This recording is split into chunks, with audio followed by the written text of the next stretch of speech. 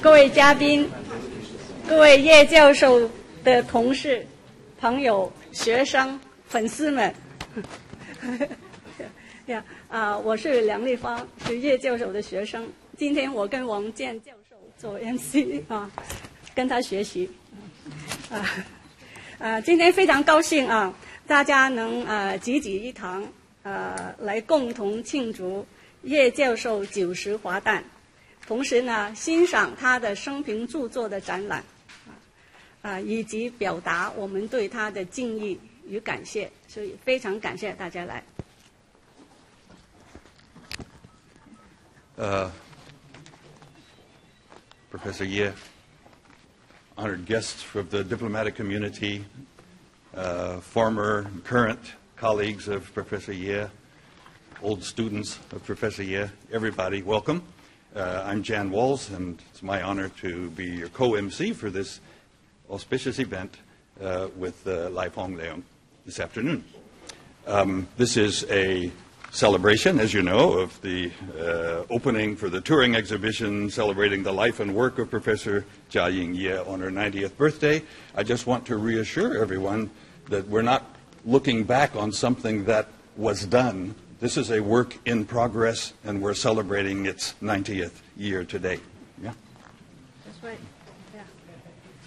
好，今天有叶教授很多同事、朋友、粉丝啊、学生，要来表示他们对叶教授的感谢和敬意。好，现在呢，大家手上有我们的 program，对不对？我们就跟着这个呃次序来做啊。 我们第一位邀请的就是 Professor Ross King，啊，他要来讲几句话。Professor Ross King，where are you？Yeah，他是啊亚洲系的系主任，现任的系主任。The head of the Department of Asian Studies, uh, Professor Ross King. Uh, good afternoon, everybody. Is this, can everybody hear me okay? I don't think the mic's working. Can't hear. No mic. Okay, I will speak very loudly. Good afternoon, everybody. Go, maybe I'll just go over here. Now I don't have to speak quite so loudly. Can everybody hear me? So, uh, good afternoon. Uh, I would like to welcome you all on behalf of the Department of Asian Studies uh, to the Asian Center, which houses the Department of Asian Studies, and the Asian Library, which are two institutions, two places that Professor Ye has spent a great deal of time. Now, um, I myself, as someone in the field of Korean studies, am a bit of an outsider to the world of Chinese literature and poetry. And of course, I came to UBC after Professor Ye had already retired. Uh, however, um, as head of the Department of Asian Studies, uh, it gives me um, certain satisfaction to see actually so many long lived and productive professors emeriti in our department.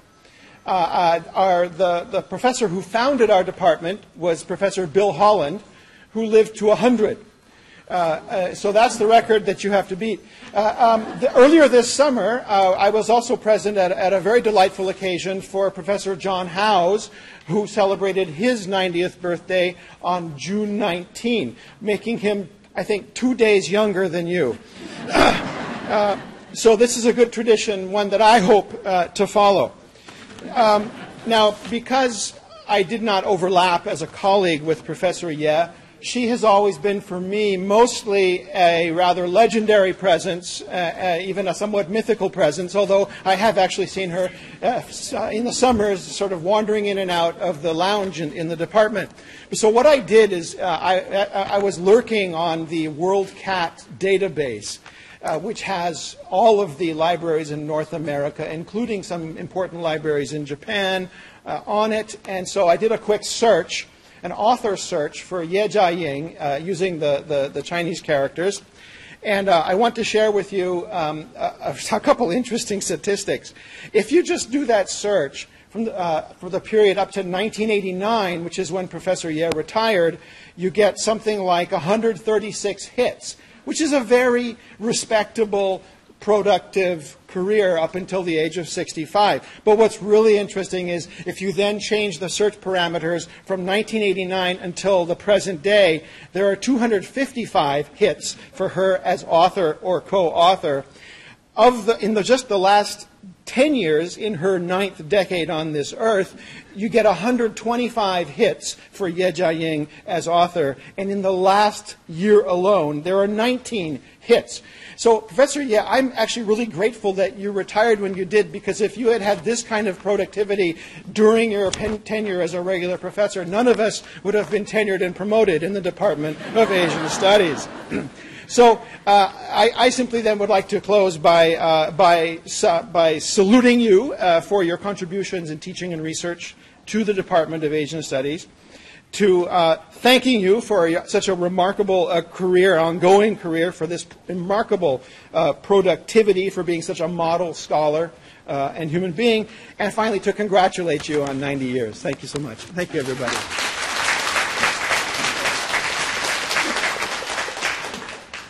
Thank you very much, Ross. We'd like now to welcome Dr. Peter Harnetti, Professor Emeritus, Asian Studies Department of UBC, uh, whom I had the honor of uh, working under. He was my boss for several years back in the, in the. Well, let's don't go into that, Peter. Just a few years ago. It's a pleasure to be here today to participate in this happy occasion which celebrates the distinguished Chinese scholar. I am not in the field of Chinese studies. I don't speak Chinese except for Ni Hao Ma.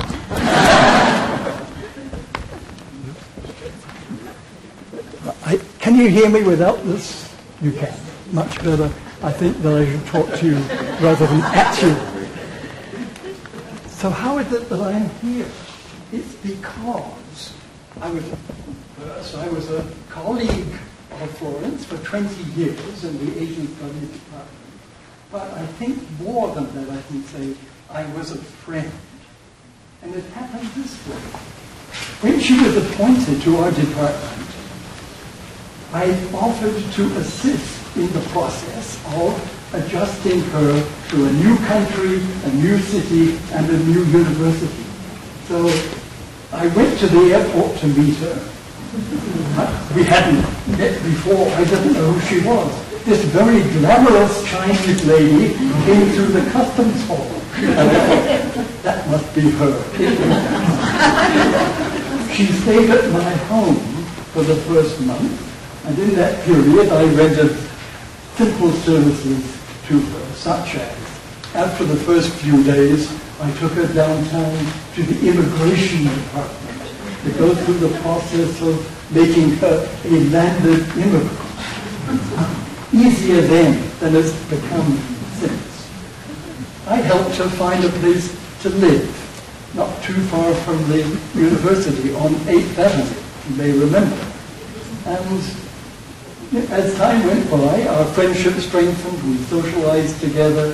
Five years later, she went through the process of becoming a Canadian citizen.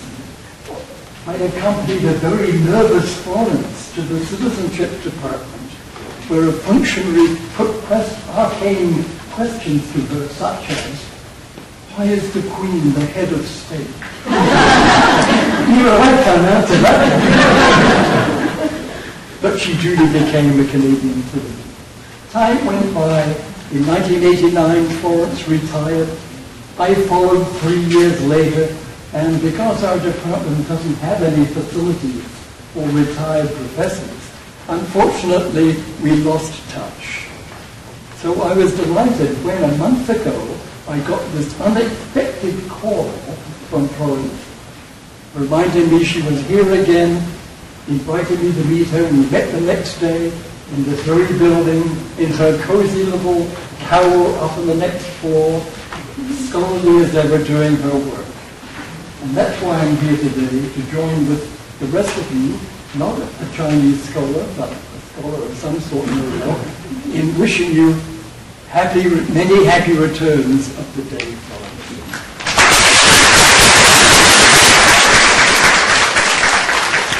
Peter, you also accompanied Yvonne and me to Citizenship Court to get sworn in, I think, in 1975. 下一位发言的是部分是肖义夫 Tibergen，Professor Tibergen。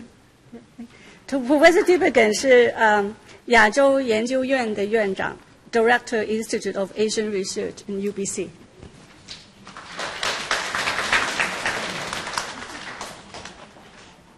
Professor Ye Jiaying, 你好，幸会幸会. It's great pleasure meeting you. Um, so it's really a, a great honor. A little short, right?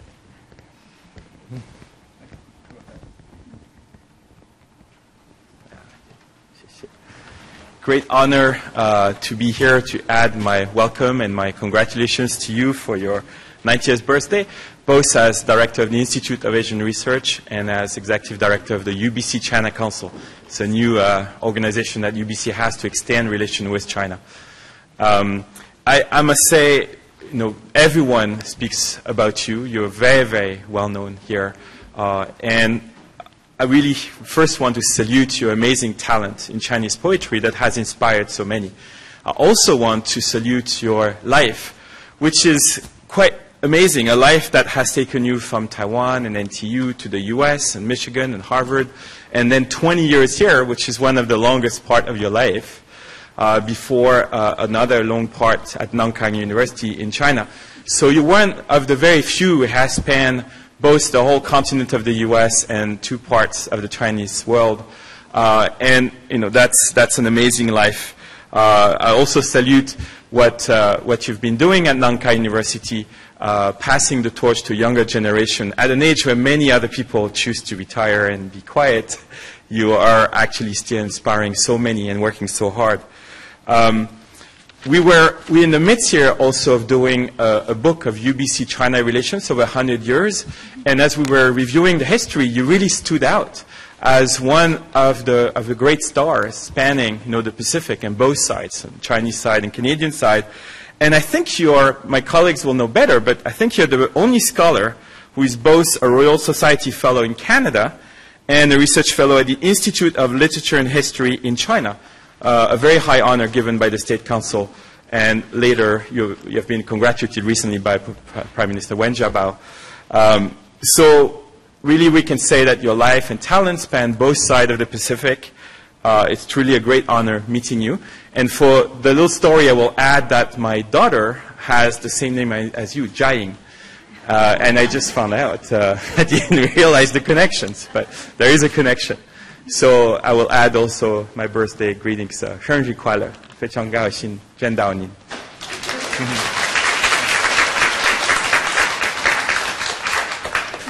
You are tall. Thank you, Eve. It's our pleasure next to uh, welcome Professor Timothy Cheek, Director of the Center for Asian Research at UBC 齐呃齐木石，呃是我们的这个亚洲研究中心，中国研究中心， 中国研究中心。是好，我的老板。哎呀，有眼不识泰山。 Well, I'm delighted to be here, but I feel very much that I am a, a small actor. Uh, after the uh, wonderful introductions and uh, the words said by um, uh, uh, Professor Ross King and uh, uh, Professor Yves de Bergien and, of course, Wen Jiabao, uh, the, uh, there's very little that I can, can add to the detail and the um, uh, warmth that they've uh, expressed. But, but I'm here on, on behalf of the Center for Chinese Research uh, at UBC to offer our congratulations to Professor Ye. And I'm delighted that our two former directors, Professor Diana Larry and uh, uh, Dr. Allison Bailey, are with us today. And so we tried to bring out the full force of the Center for Chinese Research to uh, honor you and to celebrate this wonderful occasion. And we particularly want to, uh, in addition to congratulations, we want to offer our thanks to you uh, for your contributions to Chinese studies at UBC. In addition to training students for two decades, we see in Professor Ye's poetry, some of which we will hear today, I believe, yes, the, uh, uh, and we know from her scholarship that she has carried and developed and indeed has transmitted this culture of ours that Confucius spoke of, the Siwen. And uh, for that, we are uh, immensely grateful. And we simply say, thank you for being with us. Thank you for the time you've spent with us. Happy birthday. Thank you.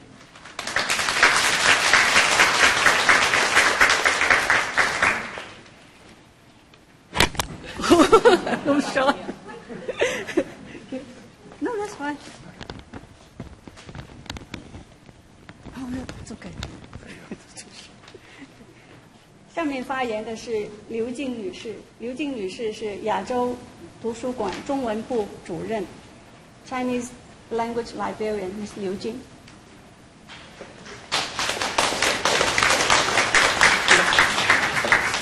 Professor Ye has many 粉丝 or fans who worked or still working at libraries around the globe. And I first heard about her 90th um, birthday celebration from our counterparts in the States and from Asia, um, from Nankai and then Taiwan. They're all looking for more resources or anything written by you. So, but we feel we're very fortunate. We had this opportunity working with you. Uh, we're celebrating, and we're we want to honor you not just not just because of your academic achievement, and also because of your support.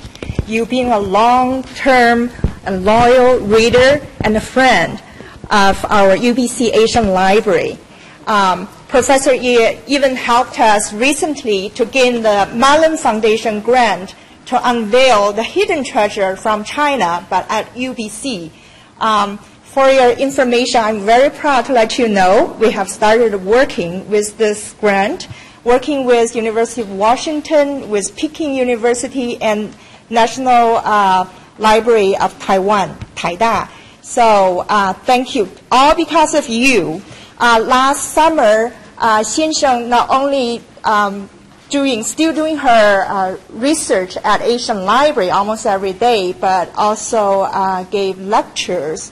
So during the day, but every evening for many evenings, she helped me with this grant proposal, recommendation letter. And, and you taught me so much. Have to be 言之有物. So get evidence, document to support whatever I need to say in the proposal. Thank you so much for that. And be, on behalf of all the library friends here, um, we want to um, thank you. And uh, I want to also acknowledge Phoebe and her assistant Vivian, who spent many weeks working on the exhibition and this event. So because we all love you.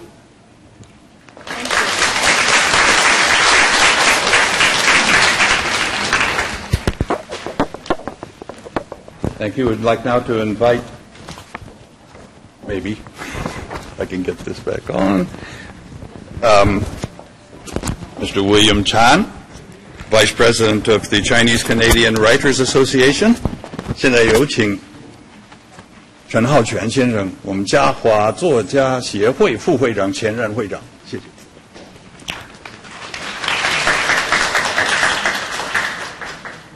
Professor Yeh, Professor King, CCWS members and friends.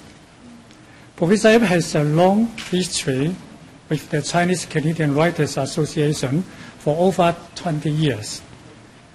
She has given us her support and participated in our events. She has enriched our organization in countless ways.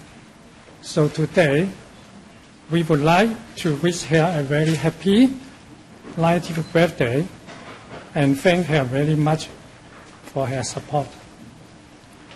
呃叶嘉莹教授是加拿大华裔作家协会的资深顾问。啊，嘉华作协是成立在一九八七年，啊，到现在已经有二十七年的历史。九十年代初，叶教授就开始担任嘉华作协的顾问，已经超过二十年的历史了。那长期以来，叶教授是一直在支持嘉华卓协的活动，关心嘉华卓学的成长。啊，他只要在温哥华卓学的活动，他一定会抽空来啊出席的。另外一方面，啊，嘉华卓学在出本文集的时候，当我向叶教授阅稿的时候，他总是有求必应，马上就把文章而且他的诗词劲作寄来，让嘉华文学的文集增添了不少的光彩。那多年来，叶教授还为嘉华哲学开办了很多的讲座。那最早的是一一九九五年，在中华文化中心举办的讲座，题目就叫《中国诗词中的多义与前人》。二零一一年是以 SFU 合办的讲座，题目是《晚清词人陈真陶、陈真寿》，对不起。那近年家呃叶教授的这个讲座就发展到是系列性的。那所以二零一二年。在林盖拉学院的讲座题目是中国古典诗词的美感特质。二零一三年与 SFU 合办的讲座，啊，题目是破解李商隐的诗谜。那这些讲座都大受欢迎，听众经常都超过一百人，把会场都挤得水泄不通，盛况空前。啊，叶教授在叶教授的九十华诞的日子，我仅代表啊嘉华卓学的同仁，衷心的祝愿。他健康快乐，以后还要常常回温哥华来。啊，叶教授对中国古典诗词的研究和教学，他的高度热忱跟长期的坚持，那个精神是很令人敬佩的。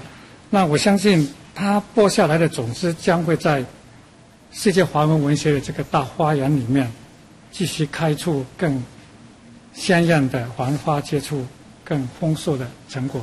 谢谢大家。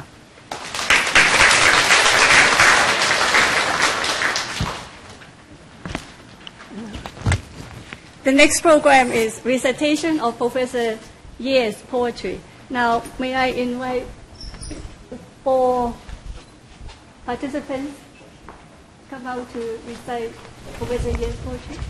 Uh, the first one, Wang Li, Ali Wang, Dr. Ali Wang of University of Malay, Malaya. It happened that her teacher was my classmate, Lin Shui-hao, so we both study under Ye And the next one, Professor Wang Jian. And then Shi Shuyi, Jenny. Yeah, Jenny. And then uh, Kao Yongqiang. So four of them. Now they will recite four poems. It's on your program, so you can follow the order. Can you guys go microphone? Yeah, 你要不要 microphone? We can use this. Uh, the first four fairly short poems, so don't, uh, don't, don't fall asleep. The first of four was written by Professor Zhao when she was 18 years old in 1942. It's called Sing You, 1942 in occupied Beiping at that time. Many sunsets I have watched, leaning on balcony rails as the feeling of fall and the darkening scene merge into a blur. I miss you so and dare not pass rest stops on the road. Year after year, spring turns green, but former luster fades. 思君，一九四二年仍在沦陷中，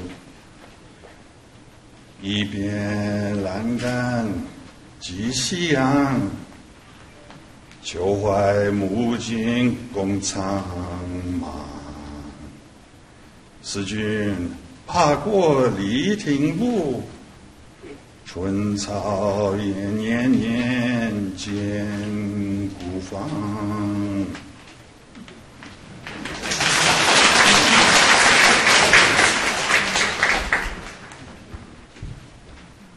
姚华，一九八八年作。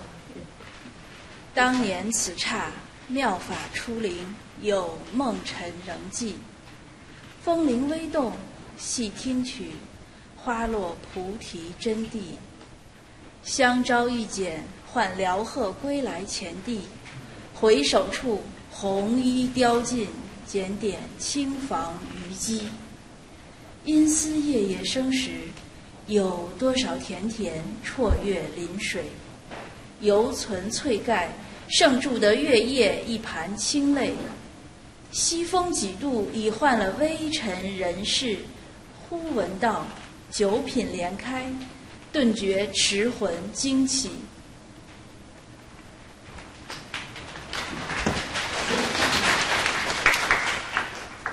To the tune of Flower Most Pure, 1988.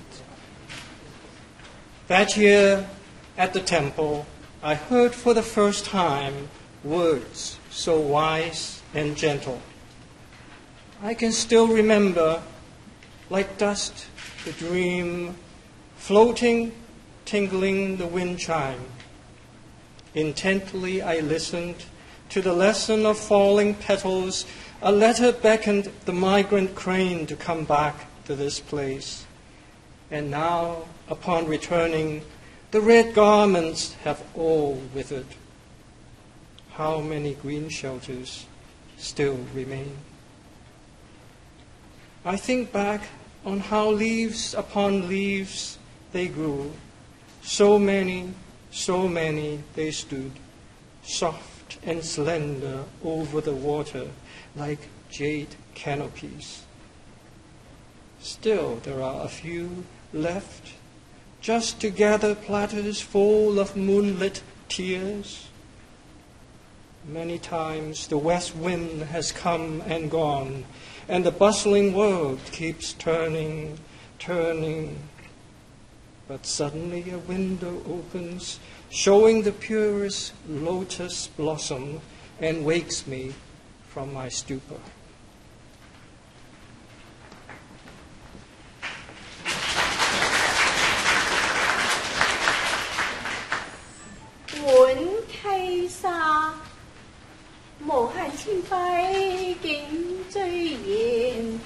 流光如水复如煙，一輪明月至高原，以關陰情緣決是，更堪萬古碧霄寒。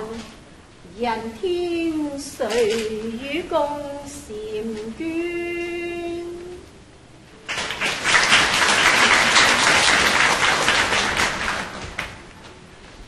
Written to the tune by the silk washing stream. Boundless bright clarity, the most beautiful scene, brightness flowing like a stream or mist in the sky. One bright full moon hangs up high. I've grown used to rain and shine, to waxing and waning, and I could endure the eternal cold of the deep blue sky. But who in heaven or on earth could share the beauty, share in the beauty of the moon? We're now going to try something, as Monty Python put it, something entirely different. 现在要合唱，呃，合吟唱，呃，一首叶教授的诗呃词。凡城秋晚风雨中，喜见早梅。 天涯木落尽凄然，况值寒风，冬雨天，忽见嫣红三四點，喜他梅蕊報春宣。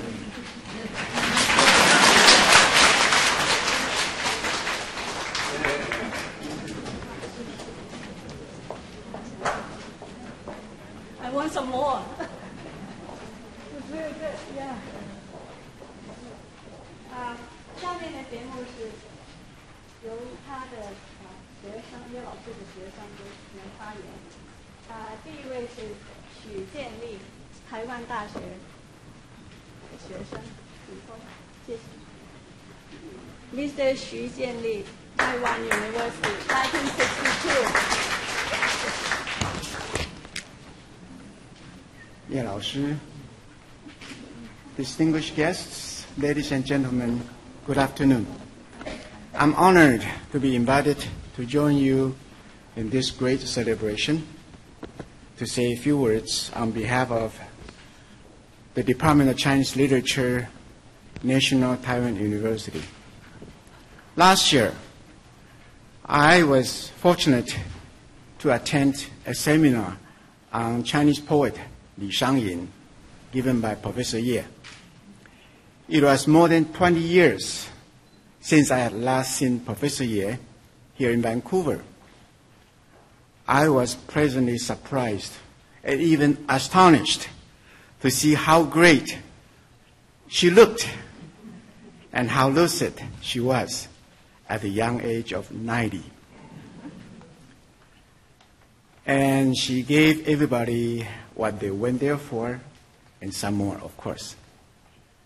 That encounter brought my memories back more than half a century, back to the uh, campus of National Taiwan University. At that time, I just been transferred to the Chinese Literature Department from a different field. I soon discovered there was one particular professor whose classes were always jam packed, filled with not only students from our own department, but also students, even professors from other departments in the whole campus.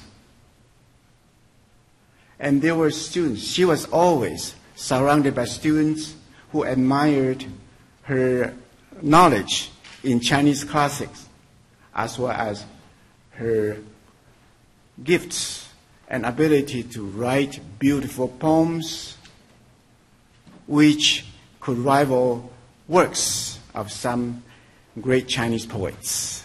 And that person was Professor Ye. And definitely, we all enjoyed and benefit from her classes. During my graduate work, I didn't choose Chinese literature. But up to, up to, to date, I'm, I have still been greatly influenced by her teaching. At least, I've been able to enjoy and appreciate the Chinese literature and its beauty. Today, I'd like to, um, on behalf of my fellow classmates, including my wife, Lina Peng Biyu, over there, would like to say to Professor Ye, happy birthday, congratulations on your great achievement, and we appreciate your teaching. You are leading us on an eye-opening journey. And 叶老师要跟您说九十华诞快乐，恭喜您伟大的成就，还有我们谢谢您。嗯，给我们的师生之谊，我们嗯祝您 万事如意，祝您身心快乐，祝您九十华诞快乐，谢谢。Thank you very much, everybody.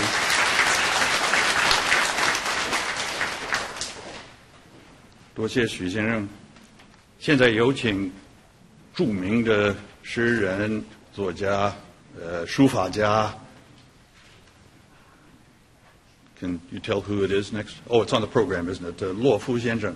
Uh, welcome, Mr. Luo Fu, to come up. Luo Fu is not only uh, probably one of the most famous poets uh, in, uh, in, in, in, Canada now, one of them. He's also a very great calligrapher, and we welcome him to say a few words.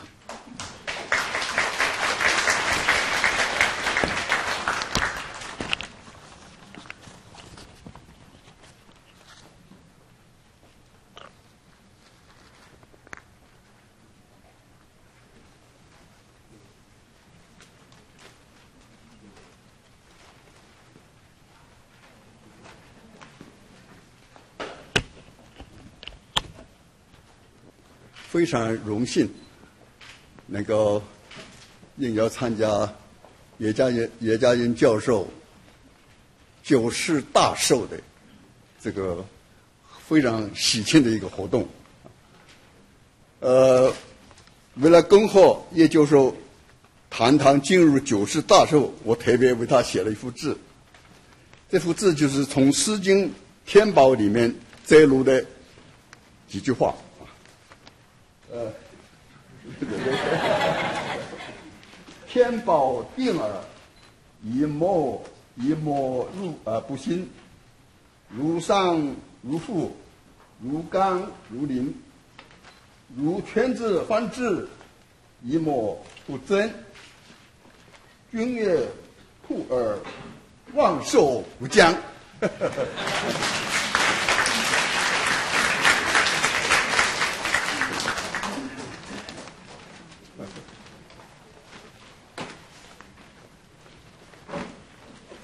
嗯，比较。谢谢，谢谢，非常感谢，谢谢，谢谢。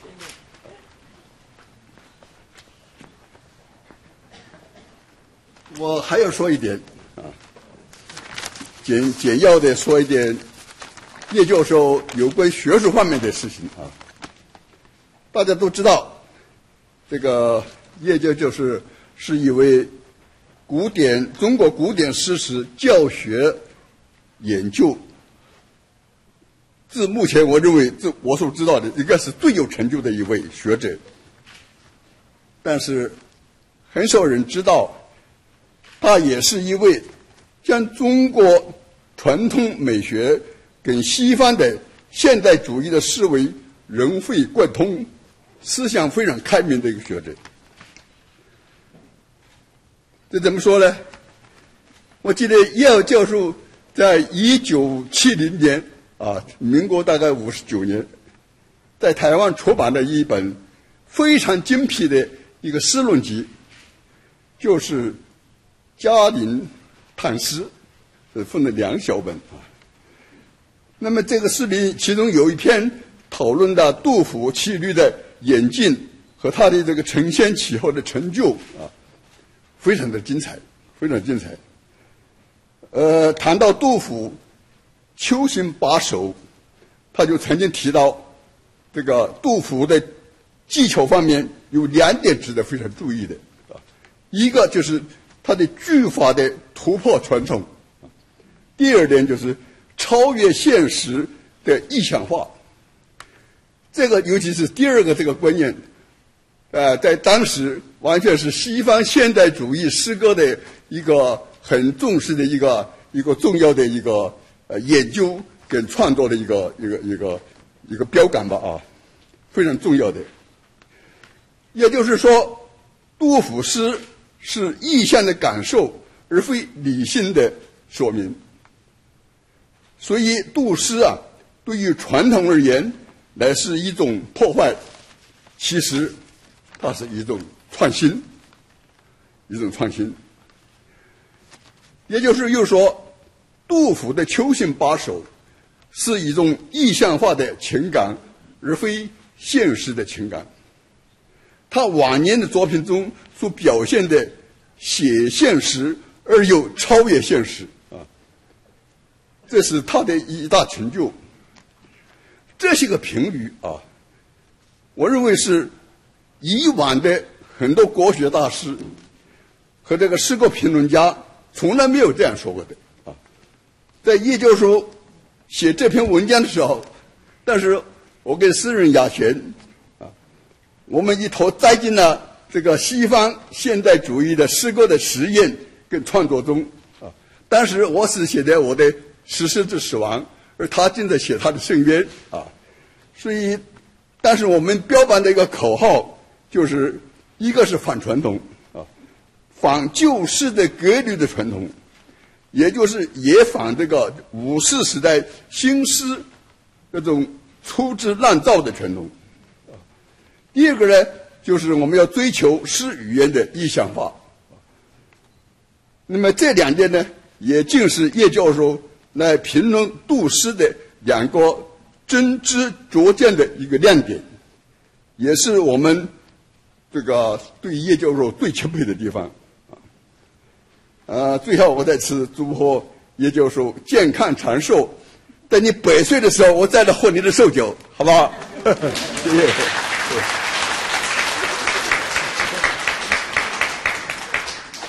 谢谢洛夫先生。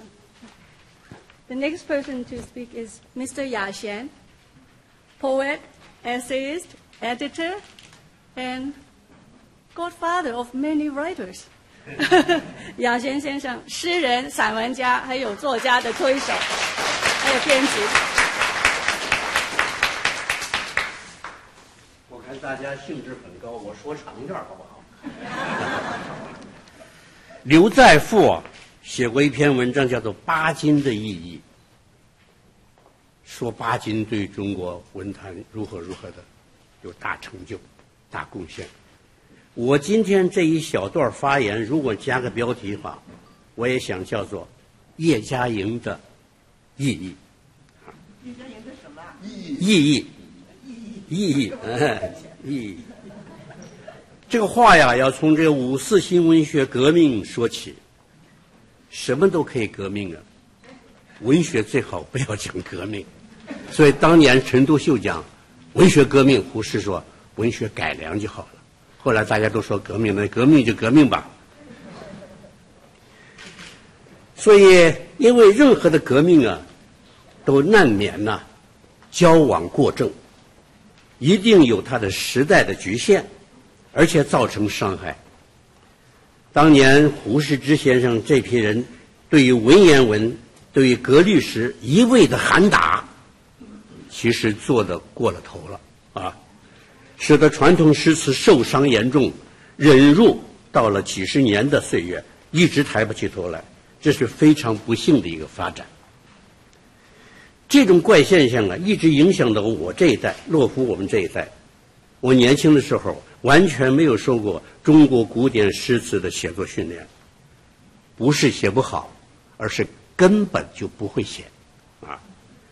想想看，一个专业诗人竟然对自己民族的文学形式一无所知，这是很丢脸的事情，简直就是个文学残障者。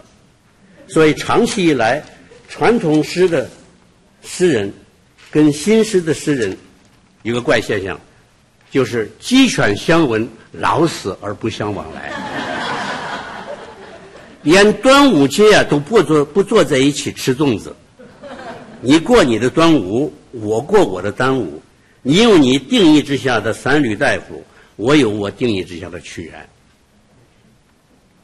我的新诗老师。大家知道秦子豪先生一天到晚要我们创造新的语言呢，绝对不要到传统诗词中去找东西，因为没有什么可借鉴的，没有什么可借鉴的东西了。另外一位老师季玄先生有点神经质，一天到晚讲啊横的一致，啊反对纵的继承，一开口就是自波特莱尔一将什么什么的。我们那时候就跟着他疯啊啊！其实那个时候叶先生你已经非常有文明了，可是我们毫无觉察，只是醉心于我们那些新奇的句子，为那些句子沾沾自喜。不知道一点，老底子不厚的人写新诗一定写不长。我们是到了已经写不下去的时候，再回头欺凌于古典。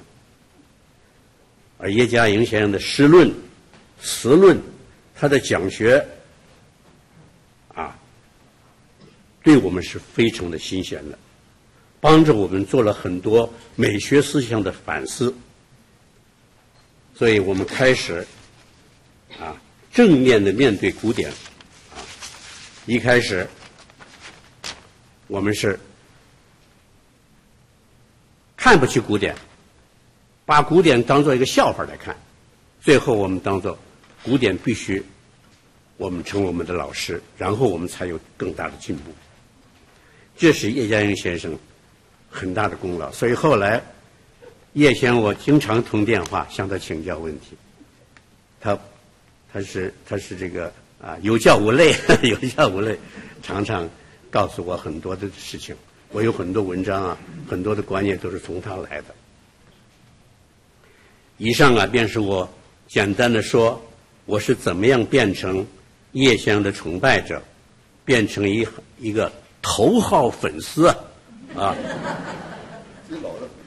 新风文学大师九十大寿，先让我念几句古人的诗句来形容叶嘉莹教授人格精神的高洁和他文学世界的辽阔。林则徐说。海到无边天作岸，山登绝顶我威风。三督符的作者左思说：“正义千仞岗，卓足万里流。”谢谢。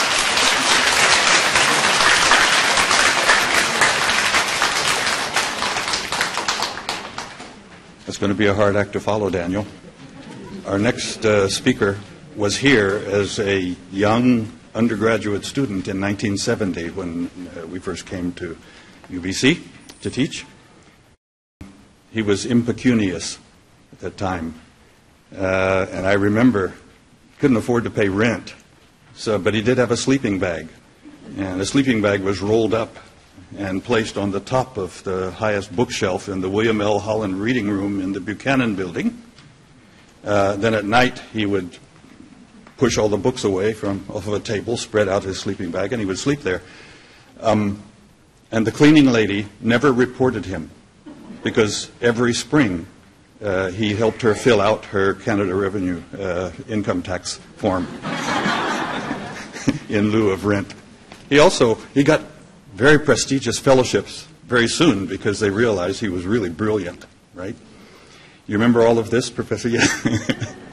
uh, but uh, but he, he made extra income when he was writing his uh, dissertation in Japan, uh, playing the Furio Gaijin, uh, the evil foreigner who always got beat up at the end of the great B, grade B movies in uh, Japan. He got some extra income from, in addition to his fellowships.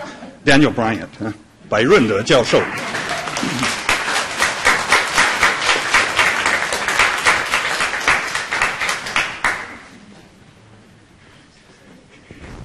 You for the introduction, I think. she not only let me stay in the reading room, she also gave me a Mickey of whiskey. the cleaning lady did. Uh, well, I arrived it at UBC almost the same day, I think, that, that Yelausher did, in, in the fall of 1969. Uh, I somehow talked my way into uh, third year honors, although I had taken the equivalent of one year Mandarin. I had no training in Chinese poetry. I had no training in classical Chinese yet. I was just starting. Um, and I guess one of the first experiences that Yelausher had with a Canadian student was I had lots more hair then. It was black, and I was, you know. I turned up in her office with this huge uncarved block of ignorance that she was going to have to turn into a Chinese scholar. and um, so, of course, I took her, her course in Chinese poetry and began writing uh, for her. And uh, she met all of the challenges. It was an enormous learning curve, as you can imagine, for both of us. Uh, she met all of the challenges with kindness, with patience, and, of course, as I only continued to understand for year after year after year and decade after decade after decade, is enormous learning and capability in, in reading Chinese poetry. And gradually, step by step, she helped me get some kind of a founding uh, in Chinese poetry, which I then went on uh, into the rest of my life. Um, I realized looking at the program that along with uh, Liang Lifang, I guess I'm representing her Canadian students uh, from, from UBC, uh, both distinguished uh, people such as uh, Jerry Schmidt of UBC, who can't be here today, and Grace Fong, who's also out off the continent, but many, many others who, who followed after, both graduate students and undergraduates. Um, and so I guess it's left to me to say not only happy birthday, but 非常非常感谢. Thank you.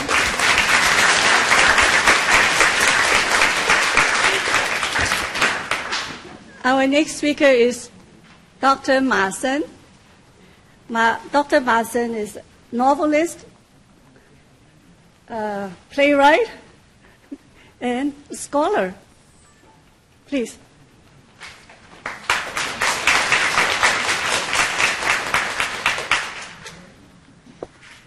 寿星，各位嘉宾，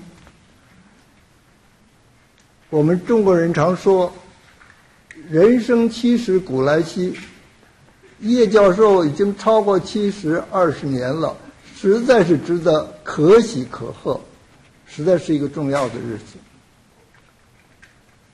想起过去，我在一上个世纪一九七零年初来到温哥华，最先认识的就是叶教授。那时候当然人地生疏，承叶教授啊多方关顾啊，非常感谢。后来呢，叶教授两位小姐出嫁的时候，我的小儿女都很荣幸的担任花童。现在那些花童已经五十岁了，这个时间过得太快了，所以我们认识也超过四十年了，可以算是老朋友了。这个我在 UBC 这个来往最多的几位，当然有叶教授，还有过去在 UBC 教这个 Creative Writing 的 Michael Bullock。还有现在在旁边的王健、李莹，后来的 Michael Duke 和邱慧芬，都是时常来往的朋友。可是跟叶教授和 Michael Duke 和和和 Michael Block 特别有缘，因为在伦敦，在这个香港，跟 Michael Block 会过很多次面。那跟叶教授呢？又在天津，在一九八一年，我应邀到这个南开大学讲学的时候，哎，叶教授也在那儿，所以我们又在天津把握了。从那以后，好像叶教授一直跟南开的关系就越来越密切了，而且退休以后呢，就完全。到南开去执教，啊，现在已经过了很多很多年了。所以叶教授的这一生啊，贡献给中国古典文学和中国诗词，又做教学的工作，又做研究的工作。他的桃李呀，是跨越海峡两岸以及海外。在我看来呀，他在这个讲坛屹立不摇，已经超过一个甲子，可以说是海外唯有此人。我非常的感动，对叶教授的讲坛的精神非常感动，对他的研究的成果和他创作的诗词非常敬佩。所以在这里啊，就恭祝叶教授寿比南山，能够超越我过去的老师苏雪林先生的记录。啊，希望您超过苏雪林先生，谢谢。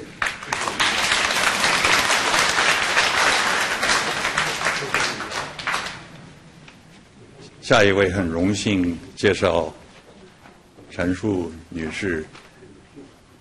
who is the honorary chairperson of the Songqingling. 呃 Children's Foundation of Canada, right?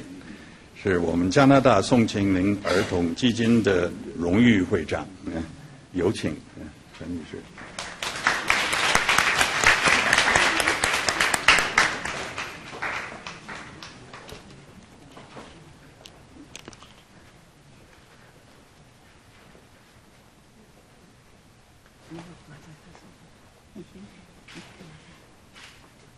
嗯，本来呢是嗯，林教授夫人陈淑女士是啊代表我们基金会，等一下有一个 presentation 啊，就一个小小的纪念品啊送给叶老师的。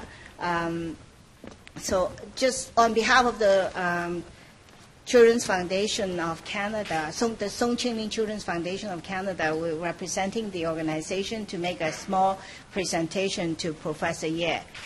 嗯，首先是我们非常荣幸能够代表这个宋庆龄啊儿童基金会来这里祝贺叶老师参加你这个庆祝你的九九十华诞的这个啊盛会。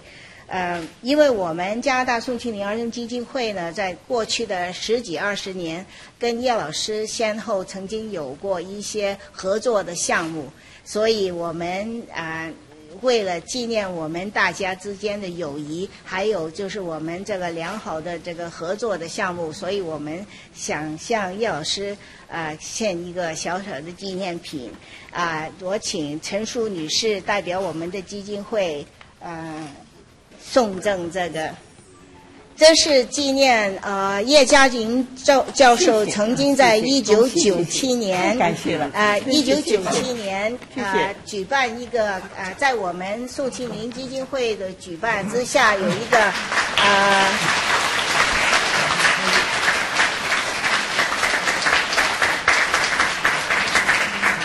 叶老师第一次举办那个童诗班，所以这是一个很好的纪念。另外就是我们曾经和叶老师合作，把他的那个啊、唐宋词的光盘啊、发出来给啊、世界各地的大学，所以纪念我们大家之间的一个合作的项目。好，谢谢。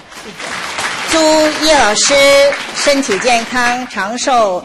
uh, a few more productive years. I hope you have many more productive years.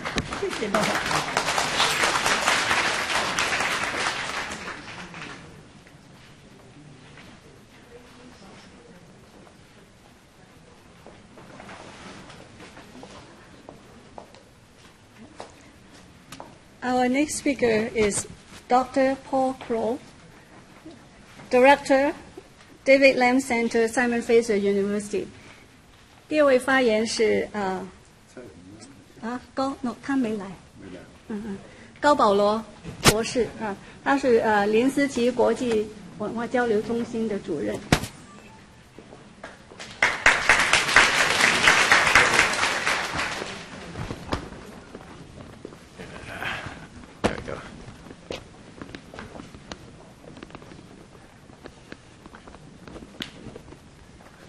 Thank you, Professor Walls.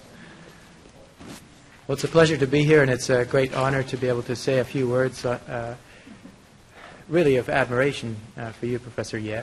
Um, I should let you know that the David Lam Center last summer was honored in conjunction with the Chinese Canadian Writers Association to welcome Professor Ye to Simon Fraser University for a series of four lectures, uh, which, well, if you ever want to fill a lecture hall, invite her. We were so happy. Uh, it was packed with people, which is actually heartening to know that that many people are still, that still have it at that deep an interest in, in Chinese literature. I, I guess I'd, I'd have to say that I don't really have the depth of knowledge required to fully appreciate the magnitude of the contribution you have made to the study and understanding of Chinese literature, if I could put it that way. Um, I, I study Chinese Taoist alchemy texts, and it, the Tzu poetry shows up in those texts, and when it does, I cringe because I know how many hours are ahead of me in disentangling the poetry and trying to understand all of the allusions and connections that are in that poetry. Uh, so, to someone who uh, has dedicated a life of scholarship to that form of communication, uh, I hardly know what to say.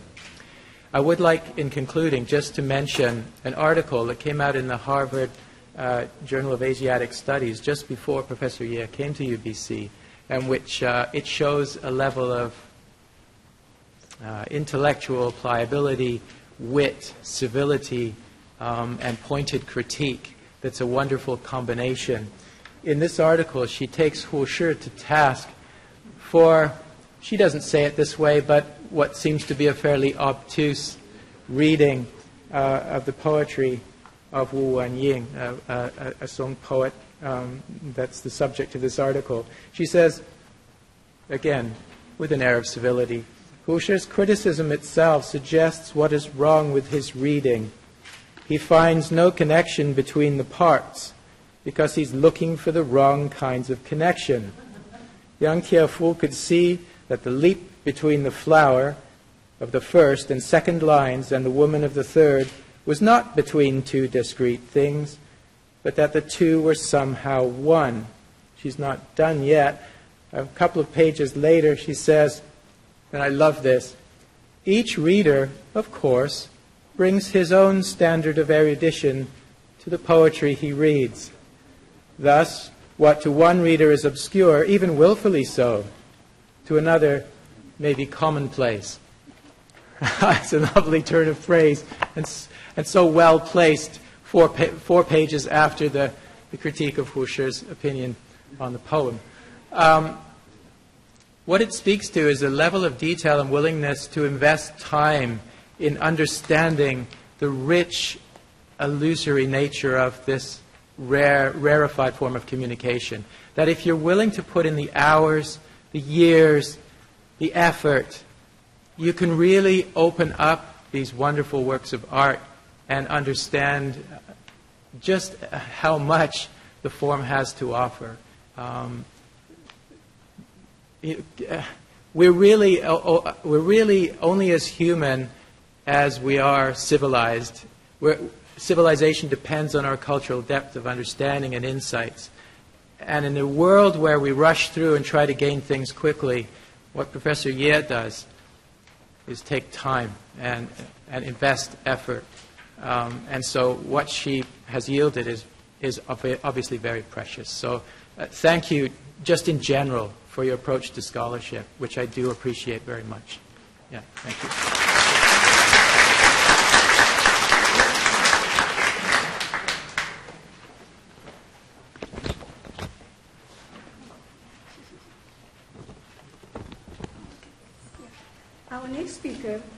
Is Ms. Luo Zhilan, Kathy Luo, oh, just president of CKG SB Alumni Association of North America。呃，罗志兰女士是长江商学院北美校友会会长。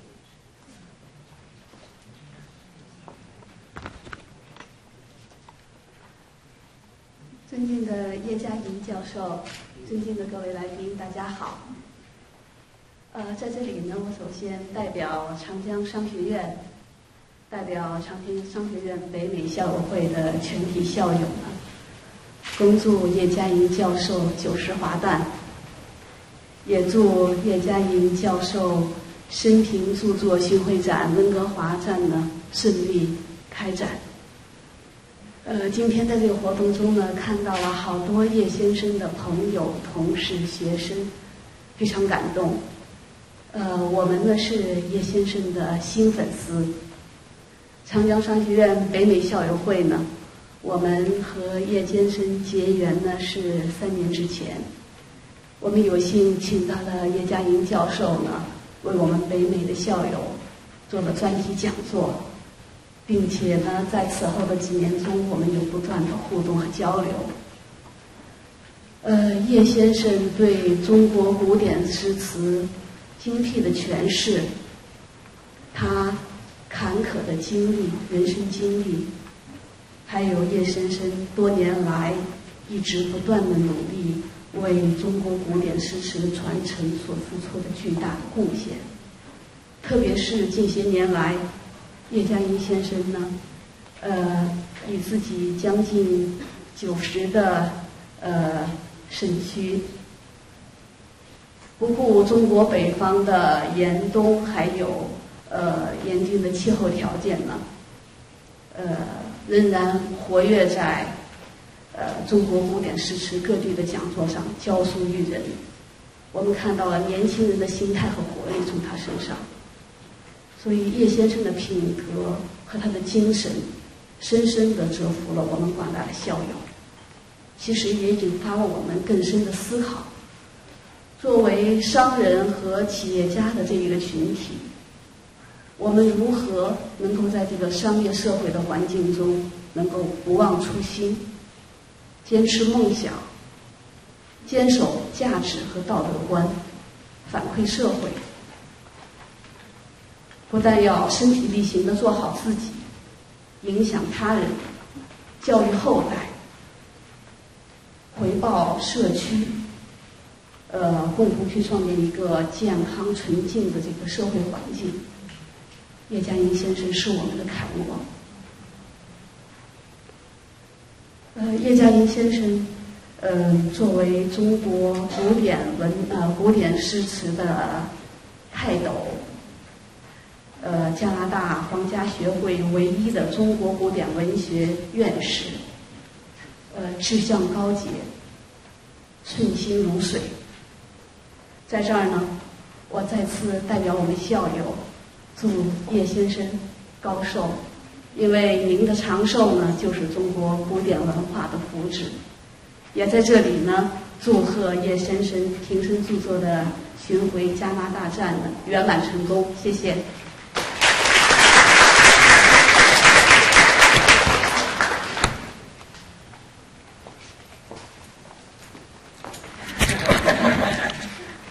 Thank you.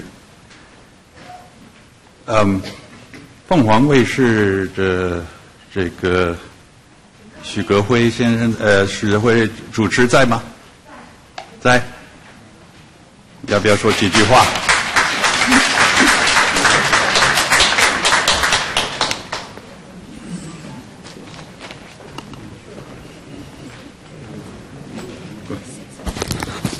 ？Would you like to? It's a, thank you. It's a great, great honor. Uh, although I didn't expect so. Uh, 我只是就是碰巧在这边度假。It's for me half vacation, half work. Um, I, you know, it, um, before I came over, I said to my TV station, I would like to do some work because I, I know there are two very famous poets, Mr. Luo Fu and Mr. Ya Xian, who have lived here for quite long. So I said I would, would like to interview them. Um, and I have already done the interview, and then my hard work has got its reward. I happen to know that it's uh, Professor Ye Jiaying's birthday, 90th birthday, and I happen to come over and join this celebration. It's really, really a great honor, and a special bonus for this trip.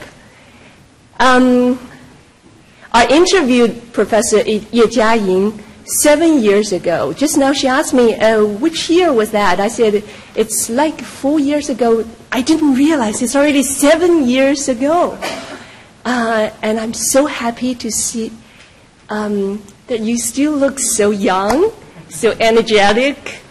呃，我特别高兴在这在这温哥华呢，又能够见到叶教授。想起七年前在南开大学对叶教授的采访，当时呢，我们除了拍了和叶教授谈，还拍了他在南开大学的讲学。当时这个节目播出之后呢，反响非常非常强烈。呃、，After my my interview to um, Professor Ye Jiaying was aired, we got great response. Uh, we we got really really warm feedback. People from all over the world wrote email to us um, or fax to us and say their praise.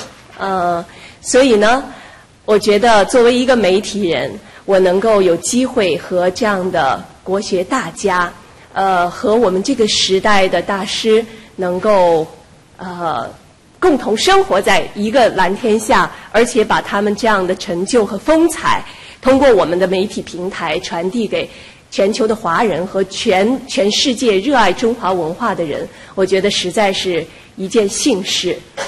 Um, I, I, I have a daughter. Actually, she is now here in Vancouver uh, taking part in a summer camp. And just two days ago, she celebrated her ninth birthday. so, uh, Professor Ye, I, I do wish you a happy birthday, and I do wish that you live longer, longer, longer, and I will ask my daughter to work hard so that she can have the chance to study with you. Thank you very much, all. Thank you.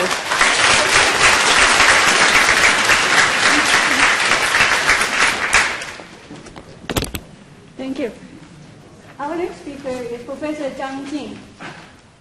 Professor Zhang Jing is Associate Professor of uh, Nankai University Faculty of Arts, and she is Professor Ye's assistant, working with her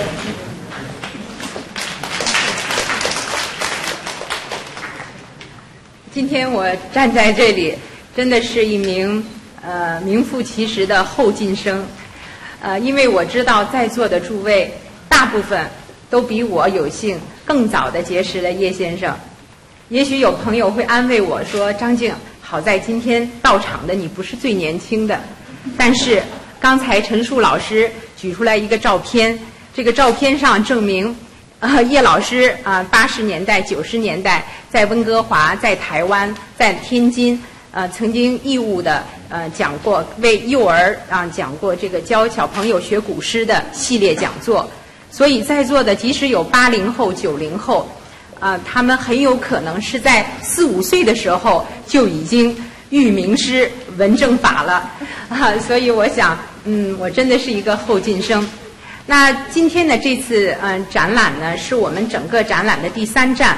去年底在台北开展的时候，叶老师六十多年前的学生，因为呃他身体不便，呃不便出门了。但是特地为叶老师创作了旧体诗词，而且还诵读了，而且录了音，专门请其他的学生呃交给叶老师。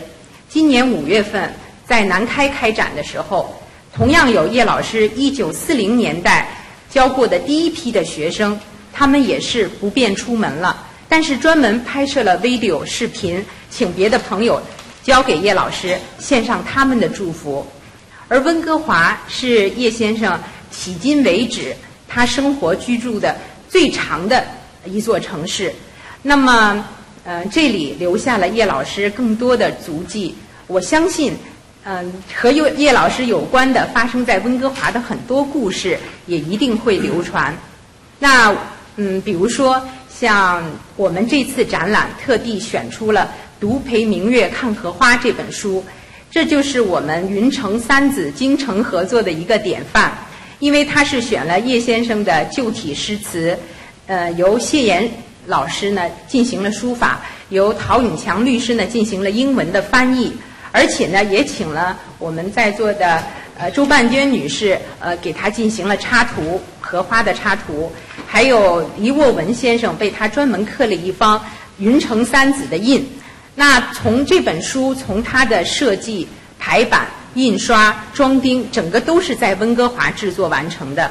而现在呢，这本书也已经被耶鲁大学的中国女诗人课程列为指定的参考书。嗯，那我是从南开来的，和南开在南开呢也流传着很多与叶先生有关的温哥华的友人和他之间深情厚谊的很多掌故。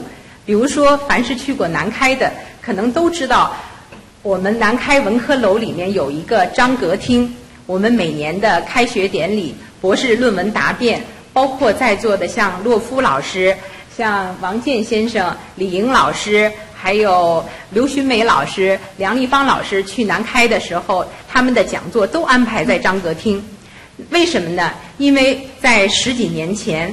也是蔡章阁先生在温哥华听了叶老师的讲座啊，听了一次讲座之后，他就决定要跟南开合资一起兴建中华古典文化研究所的大楼。那近两年在南开园里正在兴建的一个标志性建筑，就是在陈省身先生故居的东侧啊，这两幢楼是紧密挨在一起的，是一个邻居。就是正在建一个嘉陵学社，也是由我们温哥华的叶老师多年的好朋友刘和仁女士，她首唱，然后跟好几位友人一起与南开大学合资兴建的，就是为了使叶老师的晚年更好的工作、教学、科研和生活。那还有宋庆加拿大的宋庆龄儿童基金会也协助叶老师在南开大学设立了奖学金。张少琼女士也曾经大力资助过叶先生唐宋词系列讲座的制作推广，还有每次叶老师回到温哥华，这里的老朋友、老同事、老学生，大家都自报奋勇，要帮叶老师开车，要帮叶老师翻译，要帮叶老师查资料，有的呢还会做来各种的美味，有的呢会给叶老师倾吐心声，谈谈家事啊、情感呀等等。所有这些，我想都是对我们这些后进生的一种榜样和鞭策。今天呢，主办人啊、让我在站在这里说几句，我想主要也是想让我来找差距，而发一个呃奋起直追的这样的一种决心。所以在此，我衷心祝愿我们大家的叶老师福寿康宁，以便像我这样的后进生们能有更多的时间、更多的机会去进步、去提高。同时呢，也邀请在座的诸位，方便的时候随时到访南开，以便督促、帮助我们这些后进生能够更快的进步。谢谢大家。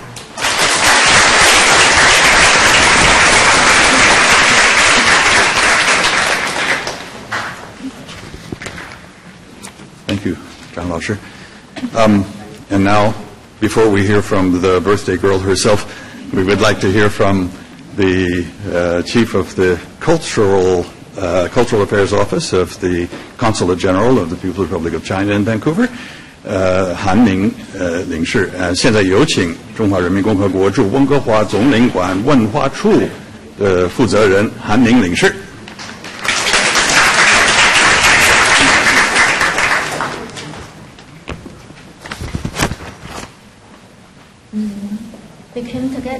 celebrate the birthday for Professor Ye Jiaying. On behalf of the Chinese consulate, I would like, and my colleague, Mr. Wang Qiang, would like to extend our heartiest congratulations and the best wish, wishes to Miss Ye. 嗯，祝您生日快乐！我呢，刚才呢，就是呃 主办方把我排在最后一个，我是很仔细的聆听了每一位呃嘉宾的致辞，我觉得感同身受，因为呃叶先生呢，我觉得他的嗯为人，包括他的品德，包括他的学识，都给大家留下了非常深刻的印象。嗯，我在这里呢，不仅代表呃总领馆。我还代表我的同事们，因为在我们总领馆也有叶先生的粉丝，也有叶先生的忘年交。因为我们非常难忘，就一零年的夏天，我们很荣幸的邀请叶嘉莹先生到总领馆来为我们上了一堂非常生动的，也是内容非常充实的关于中国古典文学的课。那在那个课上，他讲了呃。很生动，完了让我们留下了非常深刻的印象。嗯、特别是像我的同事何芳，他已经调到了蒙特利尔总领馆，他特意跑回来，完了呢过来来看叶先生，啊、也委托我在这里边转达，就是我们对叶先生的敬意。呃，因为时间关系，我不想在这里边多占各位的时间。我想呢，嗯、因为五月十号，呃，在南开也有一场，呃，就是叶先生的一个呃庆祝活动吧，庆祝生日的活动。当时呢，呃，中国的前总理温家宝也给叶先生发了一封贺信。那么我在此呢，就想呃借此机会把这封贺信给大家读一下，也借此呢表达我本人的一个心声。来信收系，持付为歉。知先生毅然决定晚年回国定居，愿为祖国古典文化和教育事业再做贡献，甚为高兴，亦深受鼓舞。先生从事教育事业近七十年，培养了一大批中国传统文化和古典文学的人才，深受学生爱戴，可谓桃李满天下。七十年来，先生一边孕育桃李，一边从事研究，为传播中国文化做出重要贡献。南开与海外友人协同，为先生建议教学、科研、藏藏书、居住合为一体的现代书院现现代书院嘉陵学社，有利于学校教学、科研、资料保存和学术交流。中国古典文化是中华民族的宝贵财富，它集文学、史学、哲学、美学、自然科学之大成，融强国修身、立德、启智思辨为一体。它传承数千年，像一盏明灯，照亮了中国文化发展的道路；又像一个火炬，传承了中华优秀之文化。南开需要办传统文化，也有条件和全国高等院校科研单位一起，把这门学问传承发展下去。您热心传承中国古典文化，在您后面的许许多多莘莘学子，您站在通往中国古典文化研究的道路上，孜孜以求，诲人不倦。您已经看到，在这条道路上，有更多的人在潜心钻研，勇往直前。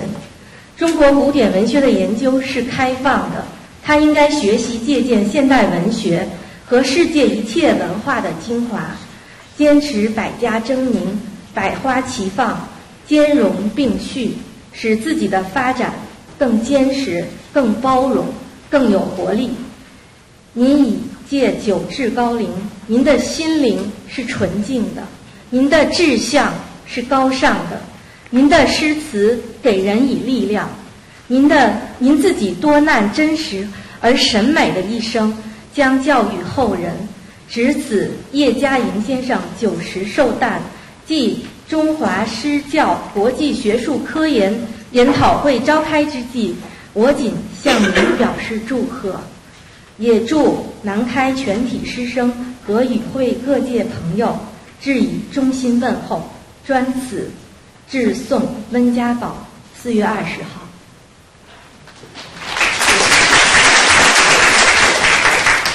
我想呢，也代表总领馆感谢各位呃支持举办这个活动，像嘉华作协，还有亚洲中心、亚洲图书馆呃等等。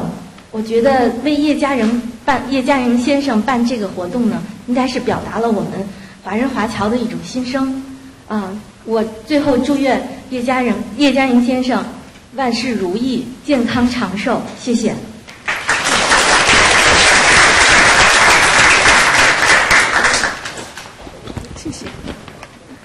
Thank you very much。谢谢各位精彩的发言。现在请，现在请叶教授致辞。Let's turn the microphone over to Professor Ye。不用不用说，不用不用不用不用。我想我现在没有别的话可说，我满心都是感谢。呃，我首先要感谢。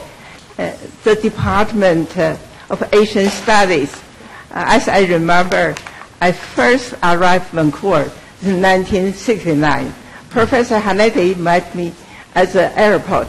I was on my way actually going to Harvard, but because of uh, the, uh, the uh, they want me to apply for the immigration uh, visa, but I only have a uh, visitor's visa. So I, was not able to go to Harvard. And uh, I also found that Vancouver is such a beautiful city. I fall in love with Vancouver immediately. and then the department uh, um, invited me to be a visiting professor. Uh, so I decided uh, to stay here. And uh, only about six months I think I arrived here that's on September 1969, but uh, the department uh, gave me the tenure at uh, next year, only half year after I arrived here. So uh, I'm really very, very grateful to the department. And later on, I told Harvard I only um, I uh, um, take the summer vacation to visit Harvard and not going there anymore. So, and uh, next, uh, I want to thank this uh, Department of Asian Studies. As people uh, all notice that uh, I almost come to the library every day. Whenever they open and I come. Even after they close the door, I, I, I left the library, but I still stay the outside the library and continue my work until the traffic hour pass, and then I go back home. So I very uh, and most of my articles, actually, I was written in the library department, uh, the Asian Studies uh, library. And this is the first thing I want to say, thankful to the department and uh, the Asian Studies library. Uh, the next thing I want to mention uh, is that uh, Mr. Xie Yan, he used to be in, work in the Asian Studies Library in charge of the Chinese part of the books. So when I arrived here, Professor Planbank told me that there is a Puban collection, uh, such a nice, a big collection, and I don't know how to find all the books. And Mr. Xie always helped me uh, to find all the books uh, uh, what I need. And uh, another thing I want to express is that uh, because of uh, Mr. Uh, Xie Yan introduced me to um, Mr. 呃蔡章阁老先生，就是蔡宏安先生的父亲。呃，那个时候， 呃，我刚刚答应南开去成立我的研究所。呃，在开始的时候，很多的困难是呃蔡章阁老先生给了我大力的协助。Actually, that's Mr. Xie uh, invited me to give a lecture in his house and also invited Mr. Cai Zhangge, how to say in English, uh, Cai Zhangge, 嗯，老先生 to come. So Cai, uh, Mr. Cai sit there and listen my, to my lecture for about two hours.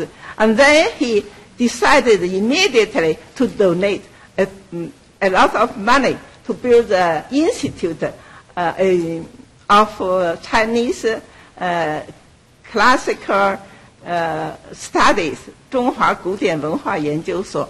所以这是呃、uh,，I want to say，嗯，谢谢。嗯，除去这 department，还有这个 library，还有 Mr. 谢介绍蔡张格老先生跟我啊做了这么多的呃这个 donation 的这些个建筑了我们的研究所的 build 呃呃三层三层是是三层楼吧？四层楼，Yeah，four floors，a big yeah building in 南开。Mm, and uh, I also want to say, all here, my friends, they give me a lot of help, and all my students. Uh, 我曾经 wrote uh, a few lines. I think it's, uh, it's in this folder uh, here. In this page, you can see a few lines here. Uh, what I said. First, this Mr. Xie Yan translated it into English. Uh, through Karma, my young fellow students and I foster a bond stronger than my relationship with my own flesh and blood. Through po- his poetry, a scholar uh, cherishes his uh, aspirations. Uh, original mind is one that has uh, neither been grounded nor died. Now I read in Chinese. 师弟因缘于骨肉，书生志意拓欧音，未曾磨染是初心。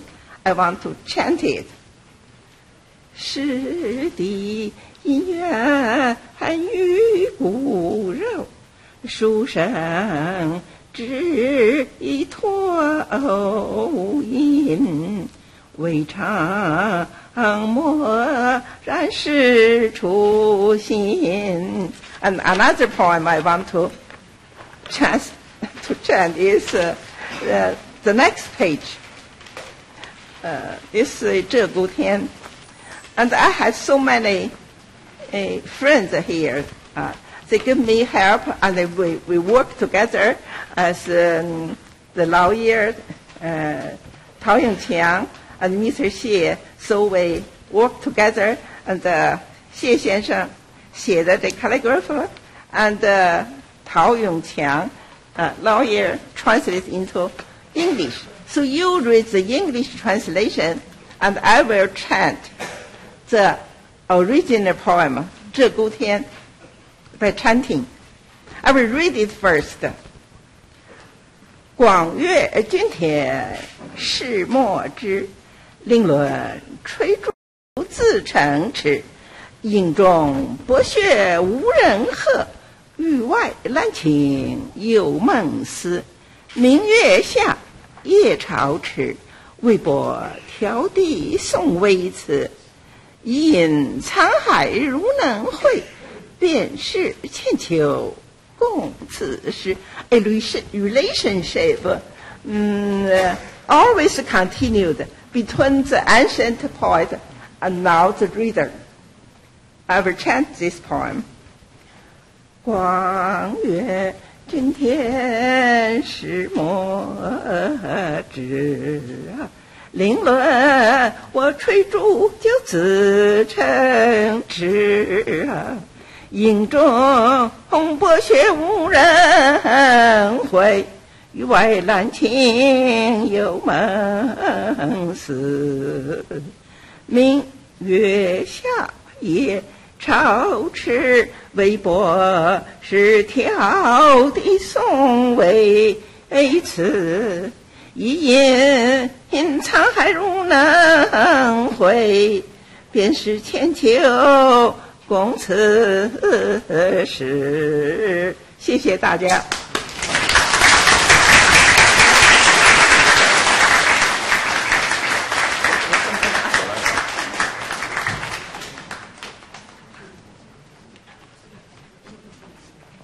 And we have a little surprise for you coming over here.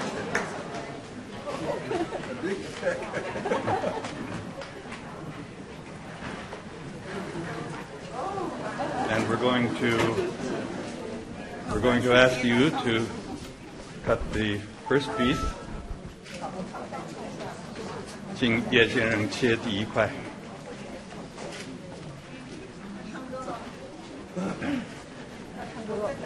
带头唱歌。